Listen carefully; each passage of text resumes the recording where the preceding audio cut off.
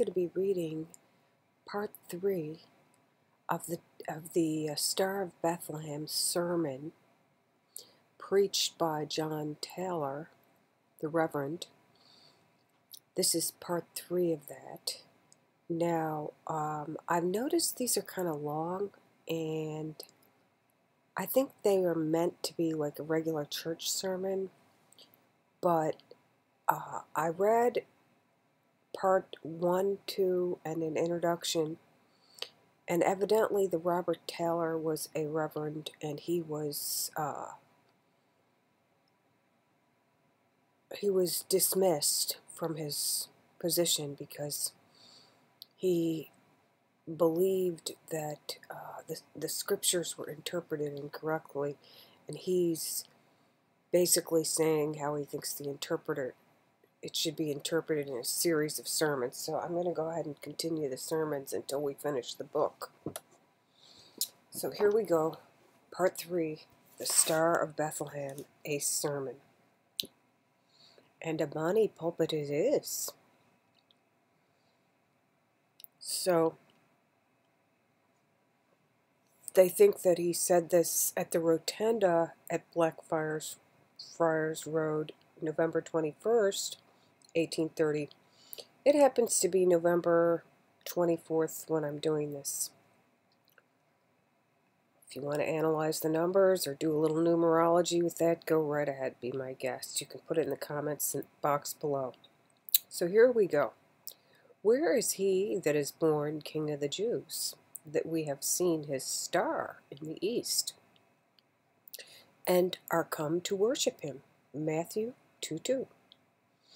Upon returning this third time to the stable of Bethlehem, I am obliged to suppose my hearers already in possession of what I'm sure those who have been hearers of the two preceding discourses on this subject have felt to be those rich treasures of philological, scientific, and historical learning, which it is the great aim of these lectures to lay before the public mind. Oh, excuse me, I sneezed. I'm sorry. I must now take them up at the spot where on Sunday evening last I left them. That is at the stable door in Bethlehem of Judea, where I had the honor of introducing them to an acquaintance with Herod the king, and of conciliating their forgiveness and reconciliation with Herodian majesty for having slain his having slain all the children from two years old and under that were in Bethlehem, and in all the coasts thereof, which gave occasion to Rachel, notwithstanding her having been dead one thousand seven hundred and thirty-two years before it happened, to weep for her children, when she would not be comforted because they were not. Here, then, we resume the thread of the delightful studies the anatomy of language has enabled, to, upon, enabled us to lay upon the primitive ideas involved in those mystical words. Now, when Jesus was born in Bethlehem of Judea in the days of Herod the king, we have found historically that these very words, that is the meaning of them, in the whole identity of everything they refer to, or by any possibility could refer to, are a direct plagiarism from the Sanskrit text of the Bhagavad Padur Purana. That is, in English, the Book of God. Of the Hindus, ascribed and universally admitted to have been written by the divine inspiration of the Brahmanical priest Vyasa, who lived and flourished in India at the lowest calculation 1500 years before our unluckily imagined epocha of the birth of Christ. We have found astronomically that in this most minute, even the most wonderfully minute applications as accurately as the wax fills up every mark and the line engraven in, the seal, the whole story betrays the character of an astronomical enigma or parable and is a picture in words of the annual phenomenon of the solar system. Three, we have found philologically that upon tracing back the words themselves to their radicals or first types, they're literally itself astronomical, whereby we have the same sort of perfectly mathematical demonstration as when we work out an algebraic problem geometrically and when we work back the geometrical result algebraically. Thus, history, philology, and science com combine in one great trinity of demonstration to prove the falsehood of the gospel. The radicals of our text read philologically, that is, according to the first types. Throw up the perfect and complete astronomy. Now, when the sun entered into the zodiacal sign of the month of August in the ephemeris of Hercules, the regulator, then follows in our English version, Behold, there came wise men from the east. But here again is an egregious and most deceitfully intended false translation in our English Testaments excuse me, in order to produce a respect for these imaginary baby worshippers, to which they were by no means entitled. They are not called wise men, but magi, that is, magicians or conjurers, notwithstanding strong reason, which some may think they have to suspect they were no conjurers. The fathers of the church generally speak of these wise men of the East as being three kings, in order to make out the accomplishment of that prophecy. The king of the Th- Tharsis of the Isles shall give presents. The king of Arabia and Saba shall bring gifts. Se- 72nd Psalm. But bring, I pray, as you would in all other sciences, bring down the rich stores of the knowledge already acquired to aid ye in further demonstrations to which we now tend the identity of Jesus Christ with the Son, the accordance of all the circumstances of this mythological history from his imaginary conception by the Virgin Mary to his death, resurrection, ascension, and final coming again as he does every year, to judge both the quick and the dead. That is to divide an equable portion of his light and heat to both hemispheres. That is to us and to our antipodes. In being night with them when it is day with us, and vice versa. All this having been so clearly proved, the presence of these wise men of the East, the first worshippers of the infant.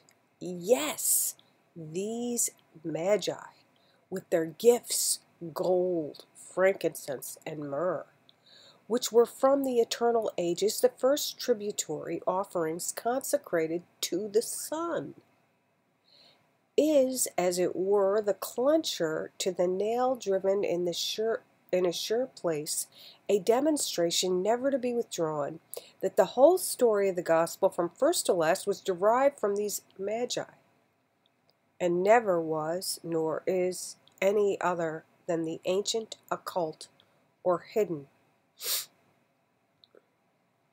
Um, so this had an asterisk on it next to the Psalms. And I'm going to go ahead and read this psalm. So beautifully versified in the Eclogue of the Messiah.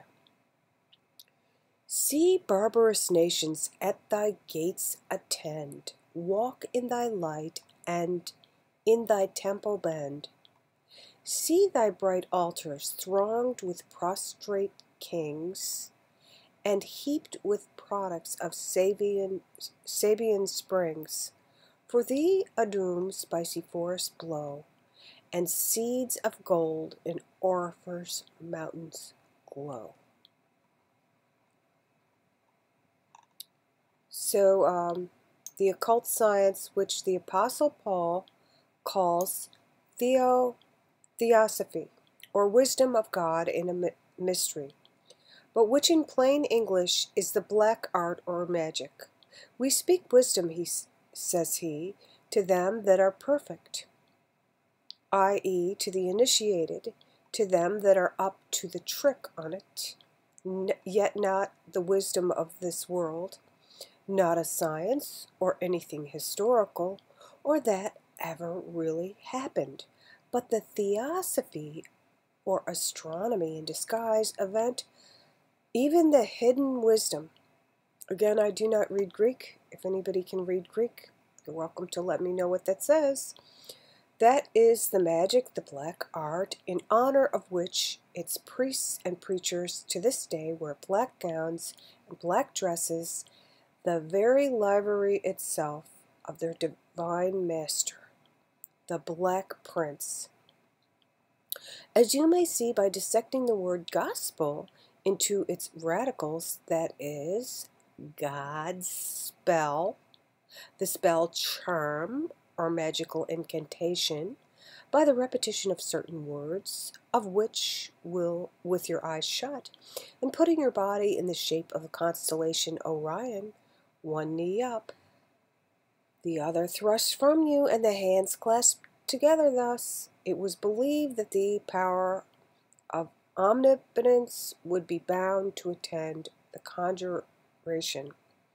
The founders of this dark science or black art are universally admitted to have been these magi, and our Christian antiquaries are proud to quote the celebrated passage from the Zend Avesta of the Persian Zoroaster, which is found so strikingly coincident with this pretended visit of the Eastern Magi to the stable of Bethlehem.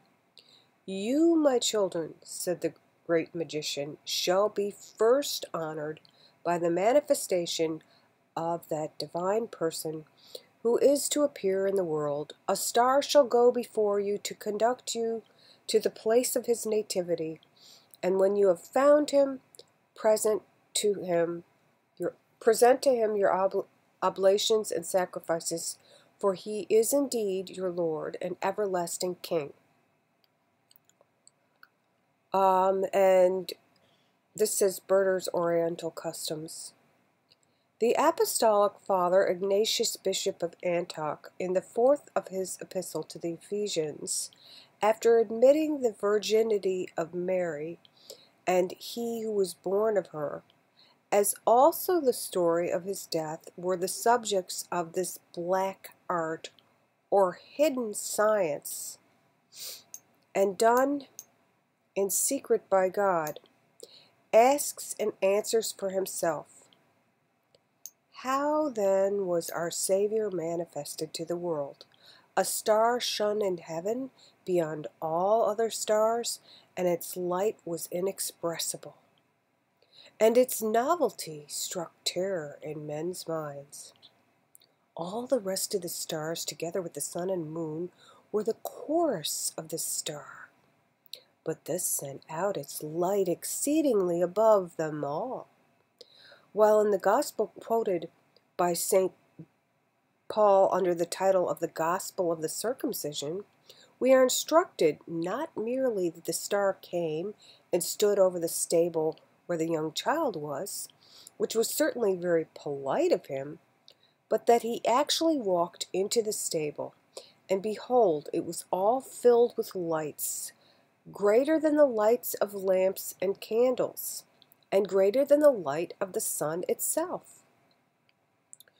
So the Holy Church throughout the world has never ceased to celebrate this affair of the star as an event as real and as historical, and indeed as it is just as much so as any other portion of this whole bag of moonshine. The sixth day of January, commonly called the twelfth day, being twelve days from Christmas, famous for eating cakes, and as famous for its proof of what cakes have been made of Christians is entitled in our Christian calendars the Epiphany of our Lord.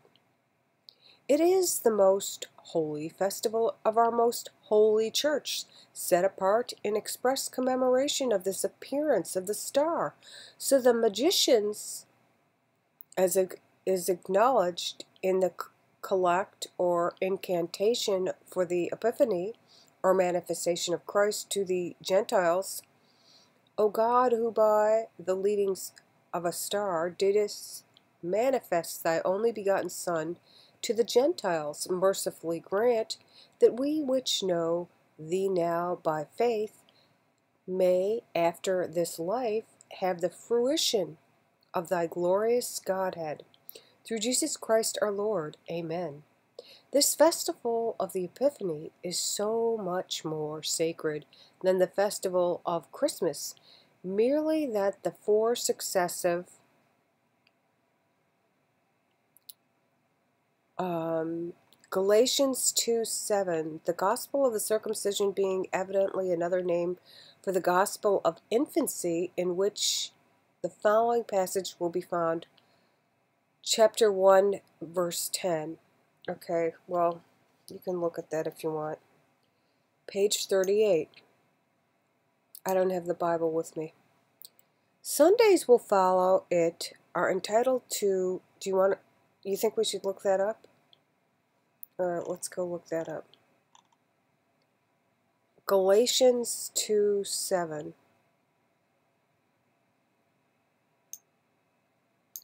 Let's go look that up.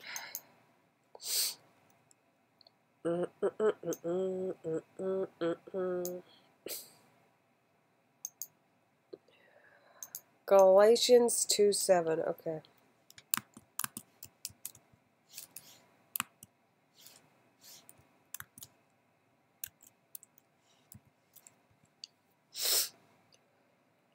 Instead, they saw that God had given me the responsibility of preaching the gospel to the Gentiles, just as he had given Peter the responsibility of preaching to the Jews.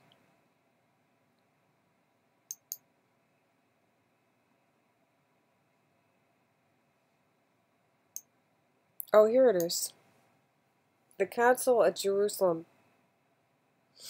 But as for the highly esteemed, whatever they were makes no difference to me. God does not show favoritism. Those leaders add, added nothing to me. On the contrary, they saw that I had been entrusted to preach the gospel to the uncircumcised, just as Peter had been to the circumcised. For the one who was at work in Peter's apostleship to the circumcised was also at work in the apostleship to the Gentiles. Okay, I don't know. It doesn't really. Alright. Well, let's go back here. Sundays which follow it are entitled First, Second, Third, Fourth Sundays after Epiphany. While throughout Egypt and the East, whence all our Christianity was derived, the day of the Epiphany was considered as the same as that of the birth of Christ and was uniformly observed the 6th of January. The Epiphany now, the Epiphany, should not a sensible man insist on knowing what is the meaning of Epiphany? I suspect again Thereby hangs a tale.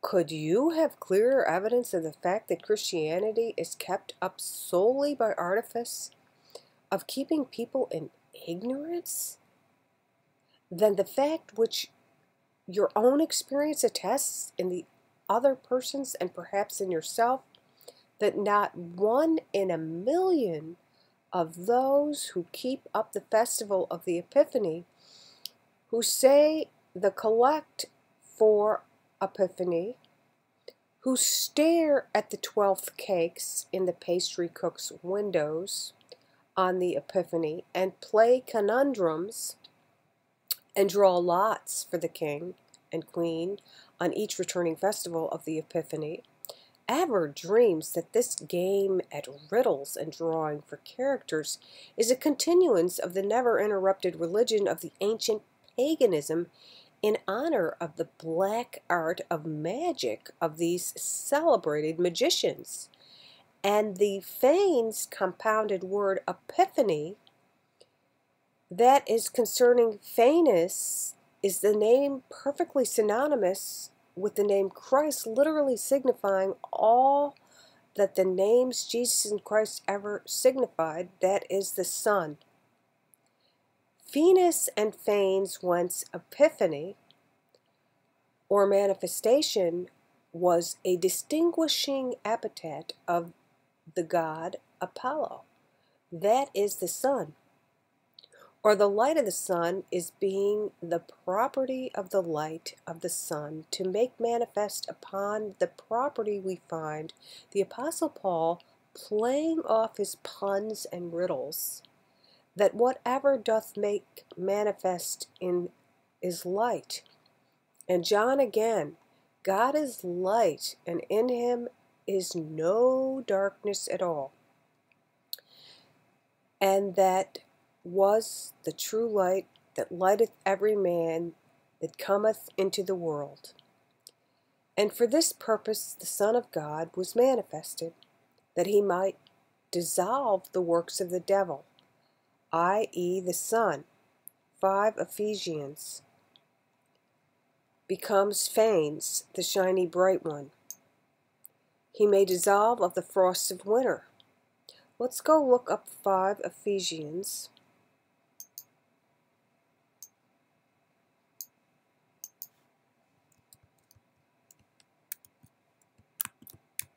I might have spelled it wrong. I did. Okay.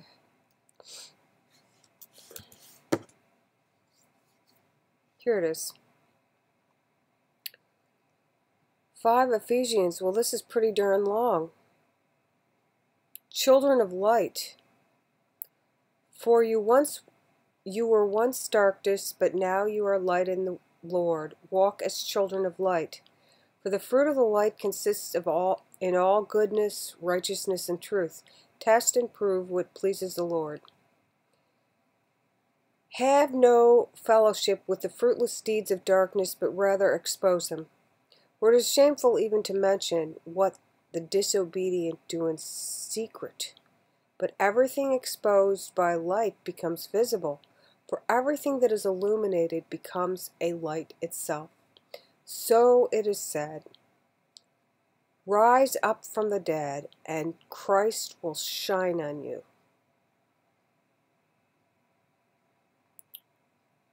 Huh. Well, it's a little longer than I thought. I think I'm just going to go back to here. Okay. Becomes Phanes, the shiny bright one. He may dissolve the frost of winter. He appears in Phanes, the ram of March, to counteract the evils that follow the in the train of the diabolical genius of November. But the god Eros, which signifies love and was the Greek name for Cupid, received the name Phanes because he was first manifested, and hence that ridiculous conundrum, which our Methodists are so fond of quoting, but of the meaning of which they are so exquisitely ignorant God is love. Yes, He is, and is as much as a, as a horse, and no more know they of the meaning of God's being love.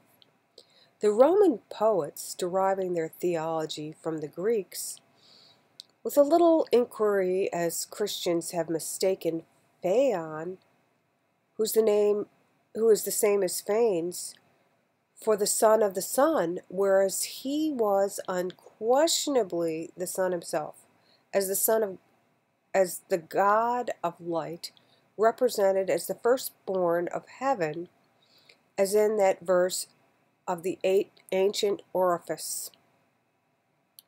Firstborn Phaeton, son of the far shining morning. An attribute distinctively retained to the Epiphany of Christianity in the incantation of the Epiphany. Oh God, who didst manifest thy only begotten Son of the Gentiles, as he is. Well, let's look at these footnotes. God is love, the fragment of the Babylonian Shna Thon, translating from the Phoenician into Greek by Philos Biblos, preserved the passage from theology of the ancient Phoenicians. Alright, I got an idea. Let's look this up and see if it's fiction or not. Let's see if this guy is spot on or what. He, he's supposedly um, let's do a little fact check checking here. I never heard of this. Cory's Ancient Fragments. Okay, here. Cory's Ancient Fragments is a compendium of fragments from ancient writers collected and published by the antiquarian Isaac Preston Cory. Uh, fragments Phoenician, Babylonian, Egyptian. Okay, so the Phoenician also known as the Sasanian, I can't pronounce that. Phoenician author of at least three works originally written in the Phoenician language, the only surviving and partial paraphrase summary of a Greek translation of Philobiblos, according to Christian Bishop. Alright, okay, so this guy is a real scholar. Okay. A real reverend scholar, okay. Translated from the Phoenician into Greek by Philobiblos, um, the ancient, when the spirit be, became enamored of his own perfections, he begat Cupid, for Cupid was the beginning of the creation of all things. Thus, Cu little Cupid and little Jesus, who was conceived by the Holy Ghost, and who is expressly entitled to the beginning of the creation of God, are demonstrated to be one and the self same figment of imagination. And the Christian who denies the real existence of the holy child Cupid, while he believes in the existence of the holy child Jesus, only shows that he uses his reason in the one instance but lays it aside in the other. Presley called by the aged Simon.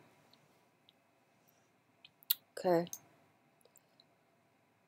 the light to lighten the Gentiles.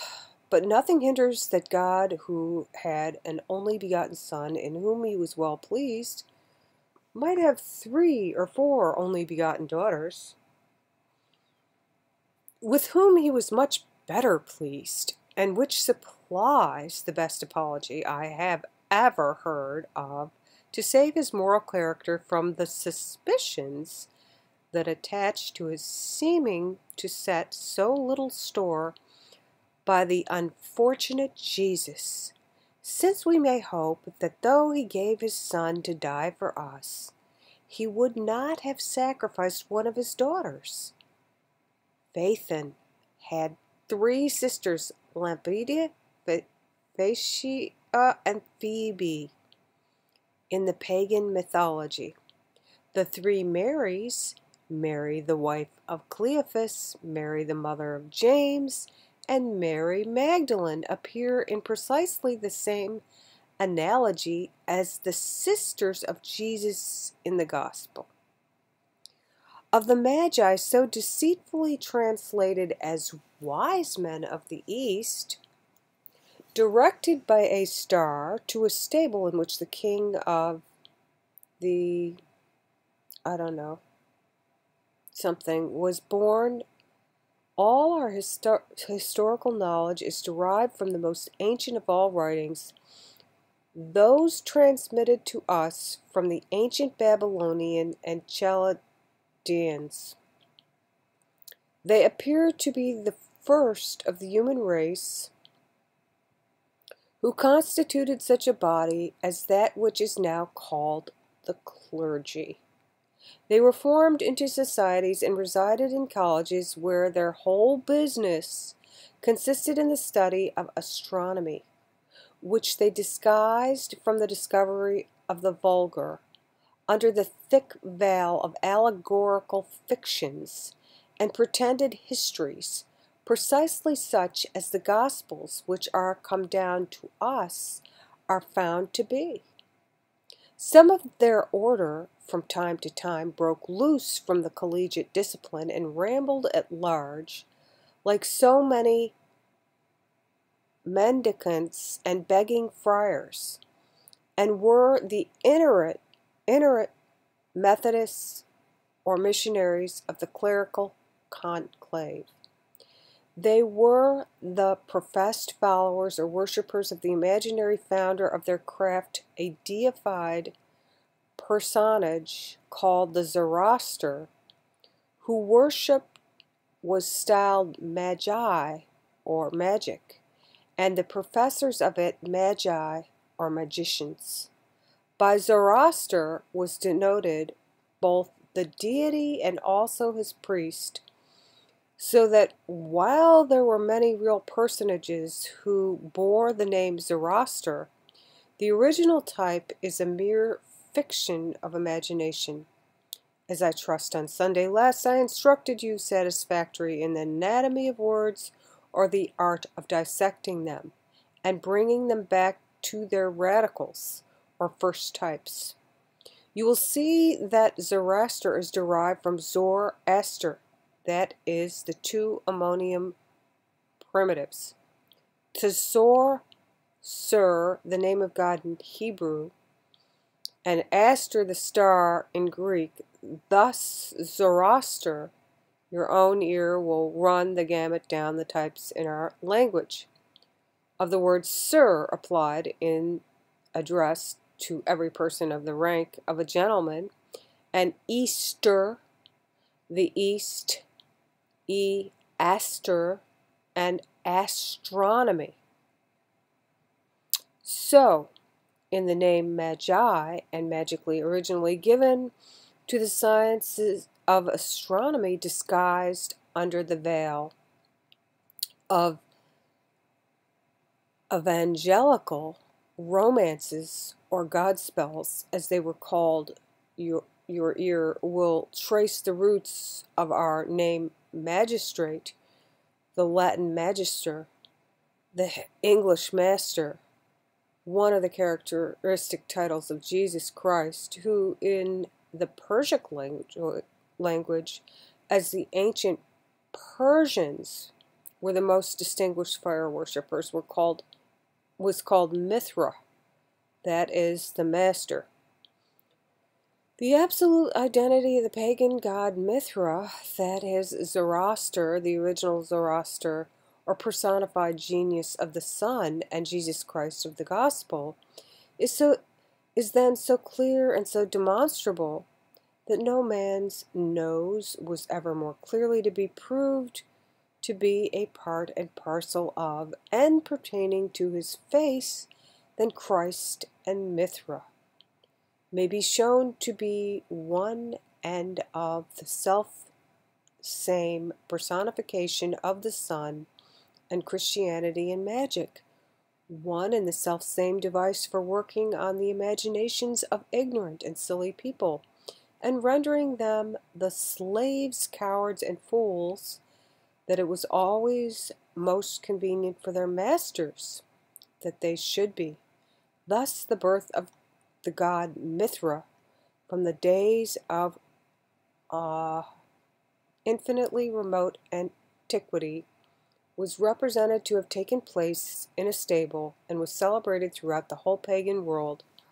On none other than the 25th day of December, our Christmas Day, the most celebrated of all the Magian festivals, where if you rectify your celestial globe to the moment of 12 o'clock at midnight between 24th and 25th of December, you will find the constellation of the stable of Bethlehem, in which Christ is said to be born the moment he achieves his first degree ascension at the lower meridian, while you shall see the constellation of the Virgin, who is said to bring him forth in no disparagement of her eternal virginity. At the moment come to the line of the horizon, and thus said to preside over his nativity. As Saint Justin, commonly called Justin Martyr, one of the earliest of the Christian fathers, actually draws the parallel between Christ and Mithra, that Christ was born on the same day when the sun takes his annual birth in the stable of August, that is, in the station of the celestial goat, where we have seen is actually placed the stable of August in the sixth labor of Hercules. This Capricornus the goat in pagan mythology is said to have suckled the infant Jupiter, of which enigma the undoubted solution is that the sun, who is Jupiter, first beginning to rise the 25th of December, when the days having been the shortest on the 21st, or St. Thomas Day, so that unbelieving Thomas doubted whether the sun would ever rise again, first appeared to be lengthening again. The sun, or Jupiter, or Jesus is said to be born or brought up with the goat. Thus, among nations who reckon the year to begin at the winter solstice, that is in Capricornus the goat, the first sentence of the first chapter of their book of Genesis was, in the first copies of the Samaritan Pentateuch. In the beginning, the goat created the heavens and earth, while those who reckoned the year to begin from the vernal equinox, that is, when the sun enters the sign of Aries, the ram, which is the tribe of Gad in the zodiacal Israel, placed Gad at the first of the tribes and accommodating their magic to their astronomy, have handed down their Hebrew text, which has become our magic. In the beginning, Gad, that is the ram, created the heaven and earth. This creation takes place every year on the 25th of March, called Lady Day, on the day of the conception of the Blessed Virgin Mary who exactly nine months afterward, on the first moment of the 25th of December, brings forth her firstborn son, her firstborn Jesus, and lays him in a manger because there was no room for them in the inn. As you will see, there really there is really not room enough in the pavilion of the Virgin when the spike of corn in one hand and the scales of September in the other, she drops little Jesus out of her bosom, and he tumbles down into the stable, the nadir, or lower meridian, the precise astro astronomical position of the sun at that moment. Now, sirs, at that moment, to the accuracy of the setting of the watch, what is the state of the visible heavens in the construction of the planisphere? Why, this is it. At the lower meridian, you have the stable of Bethlehem, in which Christ is born. On the eastern point of the horizon, you have the sign of the Virgin, with the greatest star, Vindemiatrix, in her elbow, just peering above the horizon, which star the Magi, or wise men, express themselves. We have seen a star in the east, at the upper meridian. You have the constellation Cancer the Crab, which includes the cradle of Jupiter, literally I Sep. That is the manger of Jael, from which mistaken words have been formed, the name of the imaginary husband of the Virgin, Joseph while on the western horizon you have the Lamb of God that take away the sins of the world, immediately above which you will see the Epiphany or manifestation of Christ to the Gentiles, which is none other than the beautiful constellation Orion, which you may see this very evening, those three bright stars, which constitute his belt, being the three Magi Magian kings who, looking directly across the horizon, see his star in the east, and are come to worship him, which they do by presenting gold, frankincense, and myrrh, the emblematic oblations in all ages consecrated to the honor of the sun. And look ye, sirs, this is history itself than which nothing that was ever deemed an indubitable record of truth among men was ever more historical. The most ancient chronicles of Alexandria attest the existence and universal prevalence of this religion in Egypt for ages, before the date of its falsely pretended origin in the era of Augustus and Tiberius. To, to this day, say the writers of that ancient chronicle, Egypt has consecrated the pregnancy of a virgin and the nativity of her son, whom they annually present in a cradle to the adoration of the people.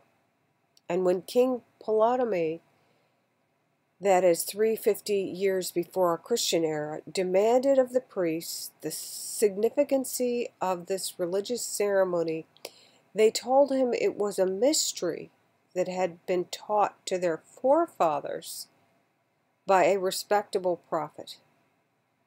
In the name of the Egyptian idol Serapis, we have the radical Zorab is, the sun, the Father, the Fire ratified by the high evidence of the virtuous Emperor Marcus Aurelius that the bishops of Serapis were known and recognized under the title of Bishops of Christ.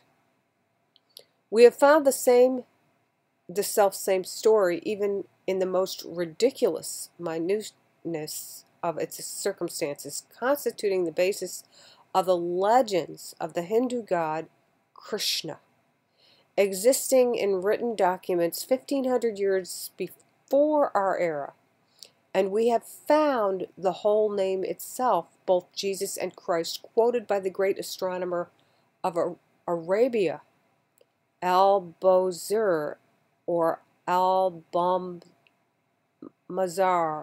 as the name which, following the most ancient traditions of the Persians, the Chaldeans, the Egyptians of Hermes and of Aesculapius had been given to the child, which in the most ancient projection of the signs of the zodiac was represented as the son of the Virgin of the month of August.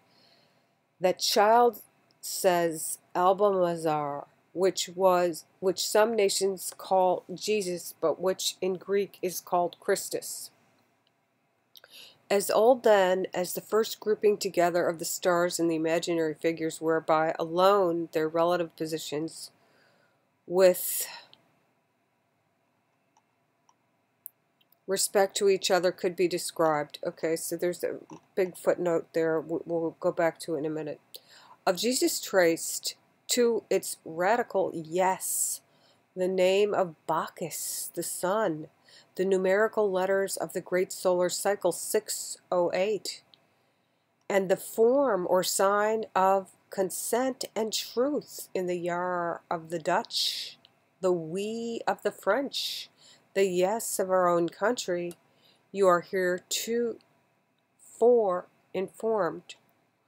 The Hinduistine Krishna, transformed into the Greek, signifies merely the good man. Jesus denoting the divine, Christ the human nature, and as existing in that great and universal personification of the solar fire, Jesus Christ.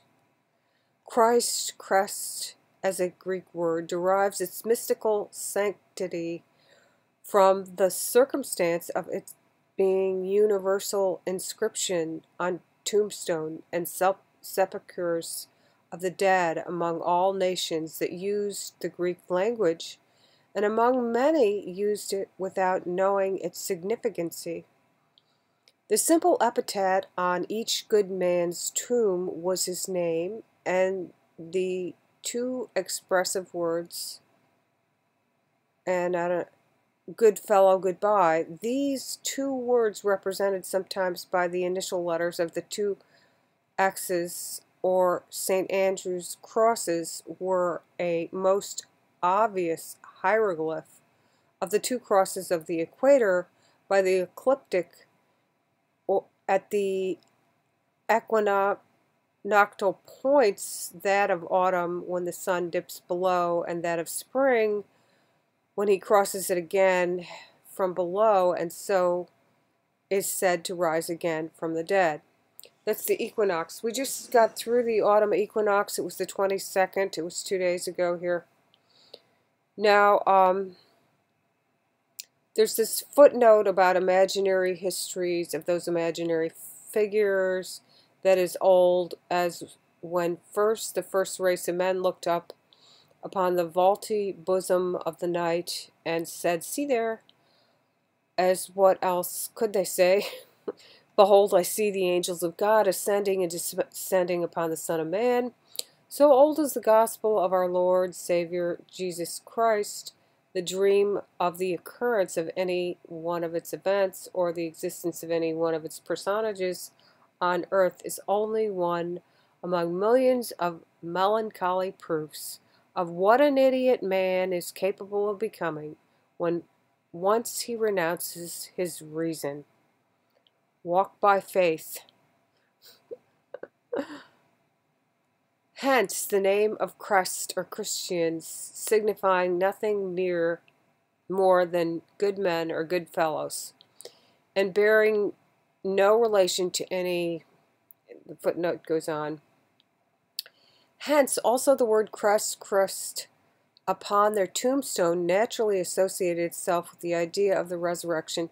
Hey guys, I think I'm going to stop on this page 46 and um, I'll continue uh, again more next time because uh, I'm running out of time and I uh, appreciate your attention. I will continue again as soon as I can. Thank you. Take care. Bye.